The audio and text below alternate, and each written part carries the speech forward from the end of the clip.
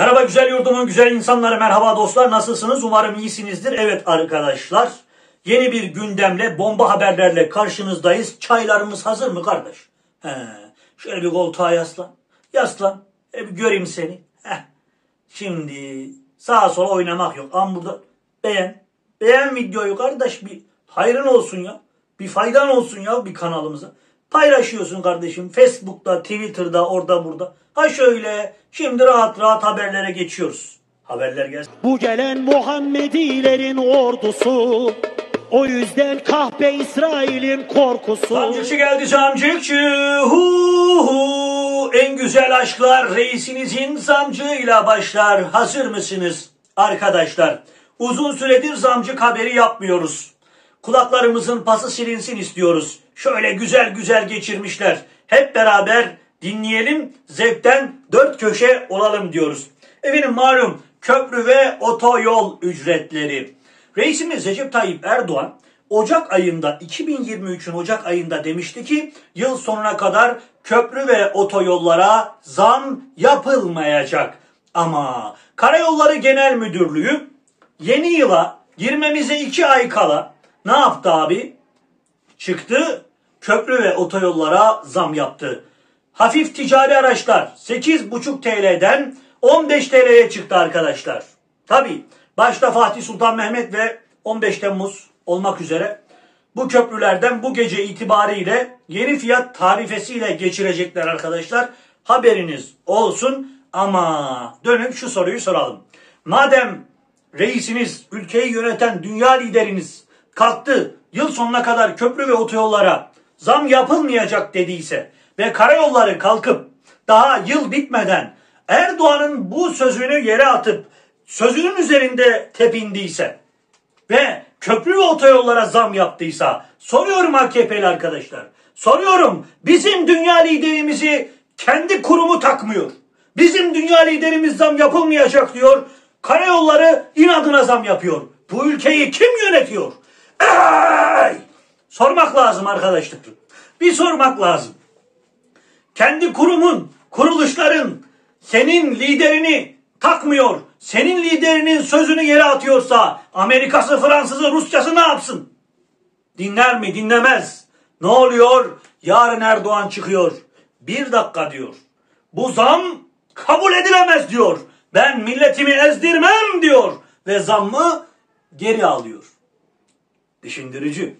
Millet ne yapıyor? Alkışlıyor.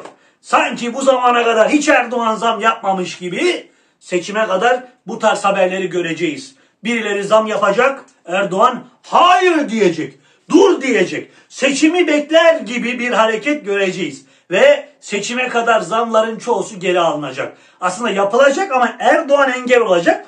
Biz gidip Erdoğan'ı destekleyeceğiz. Oyumuzu vereceğiz. AKP belediyeleri silip süpürecek. Sonra ne olacak arkadaşlar? Seçim bitecek. Seçim gecesi zafer kazandılar ya şak diye bir geçirecekler. Bu da kayıtlarda bulunsun tabii ne olur ne olmaz. Ondan sonra zamcıkların kralını göreceksiniz. Öyle zamlar gelecek ki, öyle zamlar gelecek ki kendinizden geçeceksiniz ya. Durun daha bu iyi günleriniz. Huu, huu. İstanbul'da kuryelik yapan bir kardeşimiz Suriyeli Afgan mülteci probleminin ne kadar büyük olduğunu anlatmış muhteşem bir yazı arkadaşlar. Hele ki bu diş protezleriyle ilgili önemli konulara değinmiş. Lütfen bu haberi paylaşın arkadaşlar. Efendim mülteci sorunu sadece sosyal medyada ya da TV'lerde gördüğünüz kadar sanıyorsanız yanılıyorsunuz. Size gelin Gerçeği anlatayım. Ben İstanbul'da kuryelik ve genelde günde ortalama 200 kilometre yol yapan biriyim. Pendik'ten Silivri'ye, her ilçeye, her mahalleye giriyorum. Tahminime göre Esenyurt, Başakşehir, Beylikdüzü, Fatih Bağcılar ilçelerine bir süre sonra TC vatandaşları giremeyecekler. Size kurye olarak gittiğim adreslerden bahsedeyim. Her şeyden önce hem Suriyeliler hem de bizim partililerden bazıları diyor ya Suriyeliler ekonomik olarak bize faydalı. Bu söz külliyen yalan arkadaşlar. Örneğin Esenyurt'ta telefonu bozulan bir Suriyeli ne yapıyor arkadaşlar? Telefonunu sirkecide iş yeri olan tamirci Suriyeli'ye gönderiyor. Ya da altın takı alacak olan Başakşehir'de bir Pakistanlı Bağcılar'daki Pakistanlının kuyumcusunu tercih ediyor. Tabi. Yani Hadi onu da geçtim. Afganlar Fatih ve Yeni Kapı'da bulunan kendi marketlerinden alışveriş yapıyorlar. Çünkü çok kere Afgan pirinci götürdüm. Şimdi gelelim işin sağlık boyutuna. Durum çok vahim. İstanbul genelinde diş protezi yaptıran kişilerin %90'ı Suriyelilerin merdiven altı protezlerini ağızlarına takıyor. Diş klinikleri ucuz diye buraları tercih ediyor. Size bir anımı anlatayım. Bir gün Fatih'te bir adrese gittim. Adres virane merdiven altı bile değil eski müstakil bir gece kondu. Neyse gittiğim kapıyı çaldım baktım protez imalatı var. Gönderiyi teslim aldım. Florya'da bir adrese, bir diş kliniğine gittim. Gittiğim yerin kalitesi ne Amerikan hastanesi ne de Memorial'de var. Bu nasıl oluyor diye düşünürken teslimatı alacak kişinin adresine baktım o da Suriyeli bir bayan. Bayanı çağırdılar ki doktormuş kendisi o esnada orada bekleyen şık giyimli bir bey de bekleme salonunda oturuyor. Bayan doktor Türkçe Ahmet Bey proteziniz geldi buyurun dedi. Ben şok oldum. Benim ülkemde benim vatandaşıma sağlıksız medikal ürünle tedavi uyguluyorsun. Neden? Kendi vatandaşı kazansın diye. Devam edeyim. Yurt dışına çıkarken Covid testi yaptıran insanların %90'ı yine merdiven altı Suriyelilerin laboratuvarlarında karman çorman hiçbir önlem olmadan Coca-Cola depolarının içinde yüzlerce test tüpünün olduğu yerlerde testlerini yaptırdı. Burada olabilecek en büyük sorun test sonucunun yanlış çıkmasıdır. Ama gelelim en tehlikelisine. Başakşehir'de yine merdiven altı bir laboratuvar var ve ben günde bir kez mutlaka gidiyorum. Binlerce kurye var. Biri giriyor, biri çıkıyor. Reklamı yapan vize şirketi var ya, onlar da oturma izinlerini, vatandaşlık başvurularını ve benzeri alıp götürüyoruz. Hepsi lüks içinde yaşıyorlar. Bir gün bir kargo görevlisine adres sordum. Gel ben de oraya gidiyorum dedi. Elinde boyu kadar çuval. Hepsi oraya mı diye. Aynen oraya dedi. Her gün bir çuval götürüyorum diye ekledi. Efendim içinde hepsi burada Trendyol ve Amazon'un kolileri var. Beylikdüzü Esenyurt tayfası mafyalaşmış. Beylikdüzü'nde örneğin Inovia siteleri var. Orada onların izni olmadan ev tutamazsın, ev alamazsın. Ya.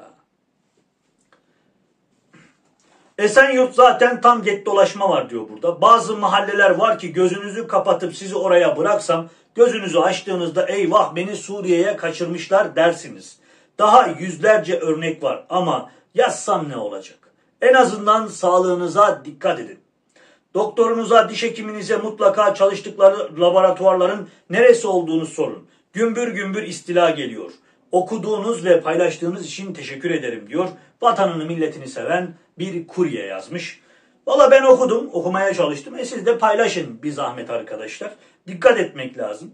Yani e, tabii ki çevremizde Afganlar, Suriyeliler var, konuşuyoruz. Bizi takip edenler var. Türkiye'de durumun ne olduğunu soruyoruz. Ne kadar maaş aldıklarını soruyoruz. Ya Afganlar, Suriyeliler asgari ücret almıyor. Ya da benim çevremdekiler mi? Benim sorup muhabbet, muhatap olduklarım mı? En son birisiyle konuştuğumda abi bin e, 17 bin alıyor. Yetmiyor. Benim Afgan e, gari üç çocuk var. E, para para az. E, e, ne yaptın dedim. E, maişa dedi patron dedi ben gider dedi. Maişa zam dedi patron maişa zam yaptı. ne kadar oldu dedim. 23 bin lira. Hmm. İyi dedim. Güzel. Vallahi. Yani kalacak yeri patron veriyor. Yemeği patron veriyor. Bir de maaşı patron veriyor. Bir sigorta yok. 10 numara 5 yıldız. Yani Allah'tan daha ne istiyorsun? Belanı mı istiyorsun? Allah aşkına. Adamlar böyle yaşıyorlar yani. Hadi 23 bin, yarın 25 bin, öbürsü gün 30 bin. Ekonominin durumuna göre zam üstüne zam alıyor. E sen benim insanım asgari ücret alıyor. Benim insanım A101'de, şokta, şurada, burada asgari ücrete kölelik yapıyor. Bu arkadaş ne iş yapıyor? Bulaşıkçılık yapıyor. Bu arkadaşın yaptığı bir şey yok. Bu arkadaş bulaşıkçılık yaparak 20 bin, 25 bin lira parayı cebine koyabiliyor. Ha sağda solda orada çalıştığı mekanda hurdacılara sattığı şeyler vardır. Oradan da para kazanıyordur, kazanmıyordur. Orasında değil. Bahşişi vardır, şu vardır, bu vardır. Onları onlara girmiyorum bile. Tamam mı? Onlara girmiyorum bile. Adamın keş cebine koyduğu para. Abi olur mu öyle şey ya? Nerede? B bana da göster. Ya kardeşim bunu her iş yeri vermiyor ki. Her iş yeri vermez bu parayı. Yani sınırlı sayıdadır. Ama maalesef bu paraları alan Afganlar, Suriyeliler de var. Hatta daha fazlasını alanlar da var. Ne de olsa sigortası yok. Yapmış olduğu iş zor bir iştir. Hele bu kimyasal mimyasal yerlerde çalıştırılan insan sağlığıyla alakalı problemlerin ileride olabileceği yerlerde daha fazla para verirler. Afganı Türk'ü yok bu işin Suriyelisi. Yani. Ama işte ülkenin geldiği nokta bu. Benim insanım ülkeden kaçırılıyor. Benim insanım, benim vatandaşım kaçsın, yurt dışına gitsin, yerlerine bunlar gelsin. Gelenler kim? Ne ediyor belirsiz. Sözde Müslüman mı? Camide görmezsin. Onun dışında sokakta, barda, orada, burada takılırlar. Bu nasıl Müslüman lan? Bu nasıl Müslüman? Allah aşkına. Camiye girmez ama Müslüman kardeşim. Müslüman kardeşimiz deyip aranıza soktuklarının kaç tanesini camide gördünüz lan? He? AKP'liler. Anlı secdeliler. 7-24 namaz kılanlar. Kaç tanesini gördünüz? Bile bile isteye isteye onların kendi aranıza gelmesini, kendi ülkenizi istila etmesini istediniz. Ve onlar geldi kendi ülkenizi istila etti. Şimdi bağırıyorsunuz, bağırmayın. Bağırmayın, çağırmayın. Kendiniz hak ettiniz. Siz hak ettiniz. Daha beter olacaksınız. Daha beter olacaksınız. Tamam. O desteklediğin güne lanet olsun. Bileğim kalküleydi. Bileğine tırıklayayım senin. Bileğine tırıklayayım. Ya bileğim kesileydi ya. Bileğine tırıklayayım senin. Ey yavrum ey. Senin gencin kaçıyor. Genci bırak. Emekli olan bile kaçıyor. Lanet olsun bu ülkeden bir an önce çıkayım diyor millet. Her gün yüzlerce mesaj geliyor. Her gün.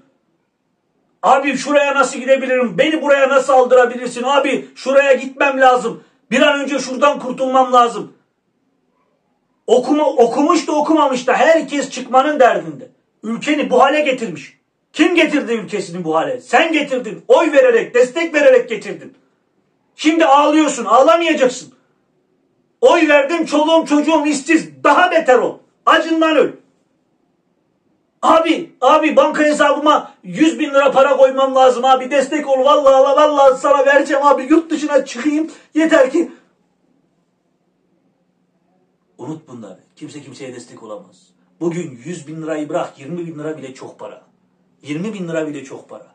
Hani bize çok. Hepimize çok. Zenginlere çok değil ama fakirler. O fakirler ki bu ülkeyi bu hale getirdi. O fakirler ki gidip destek oldu. Tamam mı? Ülke bu hale gelsin diye. Ya 2024 bir boşanmalar, iki işsizlik alıp başını gidecek. Alıp başını gidecek. Göreceksiniz. Göreceksiniz. Devlet Bahçeli İsrail'e 24 saat süre vermişti. Süre doldu. Bahçeli ortadan kayboldu. Tabi. Şimdi ortaya çıkmış Bahçeli diyor ki bizim vermiş olduğumuz 24 saati Türkiye'nin 24 saatiyle kıyaslayıp gerçekleri görmeyenler Biden saat kaçta dinlenme ofisine geçti? Baba sen yani Netanyahu'ya 24 saat verdin. Biden ne alaka kardeş? Ya Biden'ın dinlenme ofisine geçtiği geçmesinin sebebi işte Amerika'nın Suriye'de üsleri varmış. Buralara saldırı oldu. Bundan dolayı. Hayırdır bu saldırıyı siz mi yaptınız? Veya Türk devleti mi yaptı? Buradan bu subliminal mesajı mı anlayalım? Sayın Bahçeli.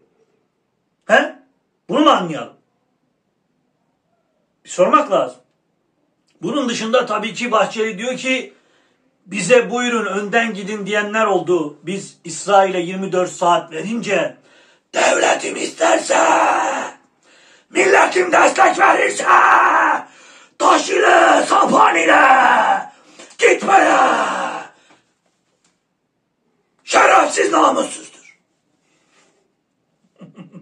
Bazıları şahsıma yönelik önden siz buyurun diye alaycı bir üslupla karalama kampanyasına alet oldular. Hiç merak buyurmasınlar. Bizim anlayışımız ve anılarımızda kimin arkadan geleceğine bakmadan önden giden şehit önkozulardır.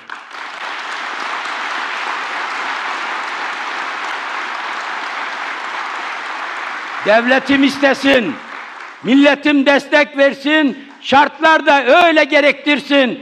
Şayet Gazze'deki çocuklara kol kanat germek, füzeye karşı sapanla taşıyla insanlık mevzisine girmek için yola revan olmazsam namerdim.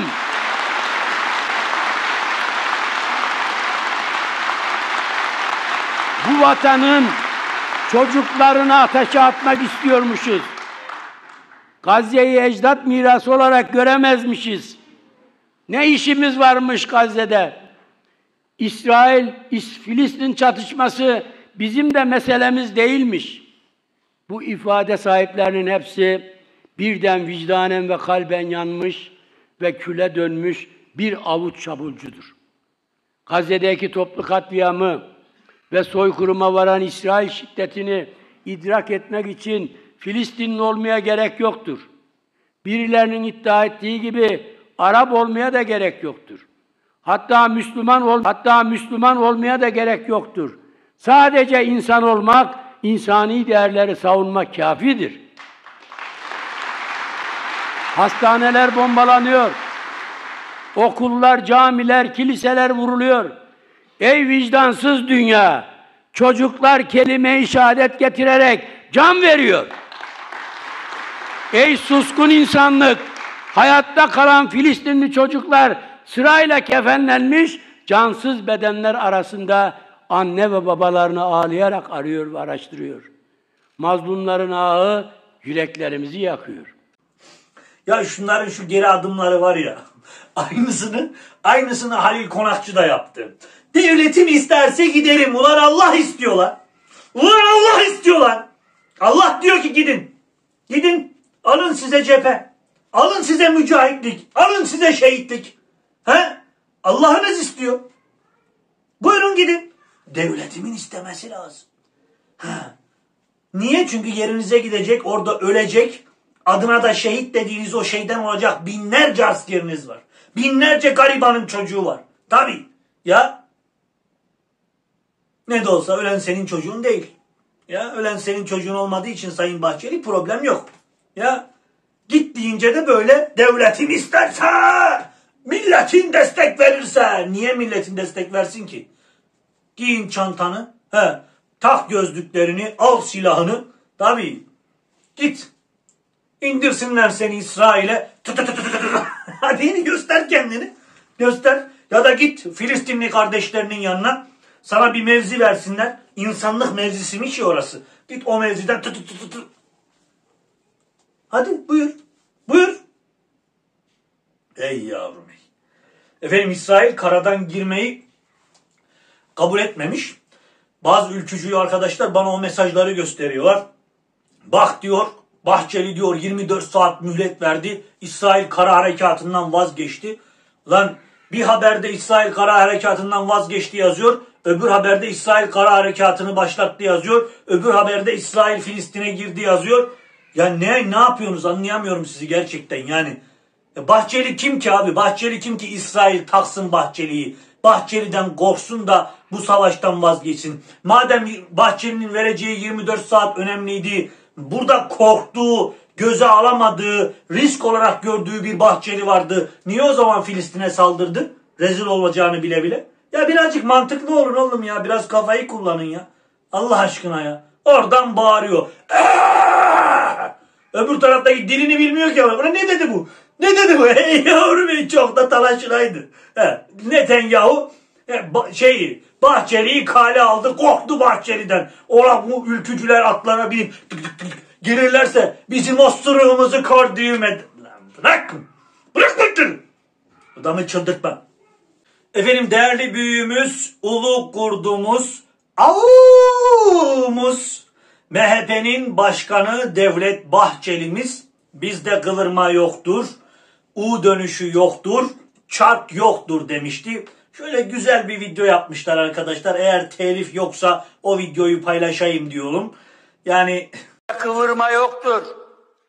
U dönüşü yoktur. Çark yoktur. Türklüğü reddeden, TC'yi silen, milliyetçiliği ayaklar altına alan bir inkarcıdan Türkiye Cumhurbaşkanı olmaz, olamaz, olamayacaktır. Recep Tayyip Erdoğan'dan da Cumhurbaşkanı olmaz. Milliyetçi Hareket Partisi sözünün eridir. 2023'te Cumhurbaşkanı adayımız Sayın Recep Tayyip Erdoğan'dır. Güya yeni bir kanal açıyorlar. Adına da İstanbul kanalı diyorlar. Ve bu bir çılgın proje diyorlar. Bu soygun düzenini çılgınca sürdürecek bir projedir. Başkanlık federasyon demektir. Bu da Türkiye'yi bölünmeye götürecektir. İmralı canisiyle pazarlıklarda yeni anayasayla bölünme yolunun açılması amaçlanmaktadır. Başkanlık sistemi bu ihanet sürecinin sonuçlanması için istenmektedir. Recep Tayyip Erdoğan tipi başkanlık sistemi Türkiye'nin bölünmesinin reçetesidir. Demokrasinin idam fermanıdır. Tek adam diktatörlüğünün beratıdır. Hırsızlık ve yolsuzluk ruhsatıdır. Milliyetçi Hareket Partisi başkanlık sistemine tümden karşı olup parlamenter sistemin revize edilerek güçlendirilmesinden yanadır. Bizim görüşümüz açıktır, değişmemiştir. Parlamenter sisteme dönmenin hesabını hangi siyasi defolar yaparsa yapsın nafiledir. Bizde kıvırma yoktur. U dönüşü yoktur. Çark yoktur. CHP'nin HDP ile görüşmesi demek PKK ile teması demektir. Bu arada AK Parti heyetinin anayasa değişikliğini görüşmek amacıyla mecliste grubu bulunan siyasi partileri ziyaret etmesi de son derece doğal ve doğru bir adımdır. HDP ile niye niye görüşülmüş? Biz buna ne diyecek, nasıl bir tepki gösterecekmişiz? Günlerdir cevap arayan marazi sorular bunlardır. Ee, bu video bize gösteriyor ki gerçekten Devlet Bahçeli sözünün eri, kıvırma yok, çark yok, adam gibi adam. Devlet Bahçeli'ye laf atanların hepsi haindir, teröristtir ve vatan hainidir. Efendim polis ekipleri ihbar üzerine Beyoğlu'nda bir eve operasyon düzenliyor. Operasyonda Osmanlı dönemine ait saraylarda kullanılan Sultan Mehmet Reşat dönemine ait bir taht ele geçiriliyor arkadaşlar. Üzerinde batıl, batıllaşma e, motifleri var, melekler var, bitkisel şeyler çizmişler falan. Altın varranklı bir e, taht bu arkadaşlar. Bu tarz haberleri gördüğümüzde direkt aklımıza ne geliyor? Wow!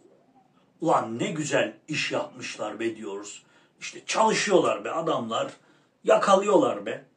Peki olaya farklı bir pencereden bakalım arkadaşlar. Ben bu tarz haberleri duyduğumda her zaman şüpheyle yaklaşırım. Bir, ihbar ne üzerine yapıldı? Mesela uyuşturucu ihbarı yaptı da gittiniz taht mı çıktı? Aa bu da buradaymış mı dediniz? Ne üzerine? Sormak lazım. Eğer ihbar Osmanlı dönemine ait bir tarihi eserin burada olduğuna dair yapıldıysa ihbarı yapan kişi bunu nereden biliyor? Muhtemelen ortada bir pazarlık dönmüş ve bu pazarlık güzel sonuçlanmamış ve bunun sonucunda da ihbar edilmiş. Peki bu taht buraya nasıl geldi? Milli saraylardan bu taht nasıl çıkarıldı? Beyoğlu'nda bu eve kim koydu? Koymasına kim yardım etti? Bir o açıdan bakalım. Olayı böyle değerlendirelim. Bir, biz şu anda şeytanın avukatlığını yapıyoruz. Sadece soruyoruz. Belki de böyle bir şey yok yani. Sadece soruyorum aklıma geldi. İkincisi de şu arkadaşlar. Burası daha da önemli. Her zaman kafamın bir tarafında bu tarz olayları gördüğümde acaba mı derim. Orijinali bir yere satılır. Şimdi orayı sahtesiyle doldurman gerekir. Direkt alıp koyarsan dikkat çeker. Ama şurada yakalandı, şurada ele geçirildi. Aa çalmışlar. Bu dersen ve haberin içine bunu koyar, öyle servis edersen tarihçiler bile bunun aslında orijinal değil, çakma olduğunu anlamaz. Buna orijinal der. Tamam mı? Beyoğlu'nda bir evde ele geçirilmiş. Çağır Talha Bey'i, çağır diğer tarihçileri baksınlar.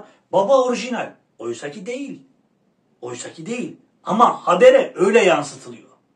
Belki de böyle bir durum var ortada. Tabi biz bunları soruyoruz yani. Çünkü buradaki en büyük problem madem böyle bir taht vardı bu zamana kadar niye üzerine gitmediniz? bu tahtı bulmak istemediniz de illa birinin ihbarı üzerine bu tahtı buldunuz? Kim çıkardı bu tahtı oradan? Değil mi? Allah Allah. Pazarlık olmamış tabii. Belli. Düşündürücü.